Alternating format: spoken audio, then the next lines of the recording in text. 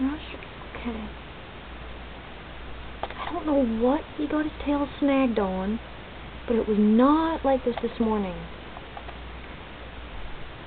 He's got the empty filter, silk plant, sponge filter, ceramic log, heater, driftwood, and new gravel.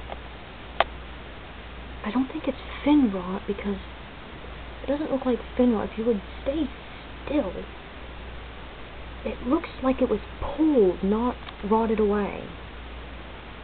And other than that, he seems fine. So what the heck did he do? Kirk! What'd you do, buddy? Huh?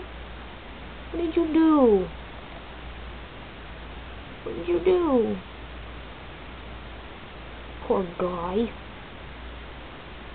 He can't be comfortable.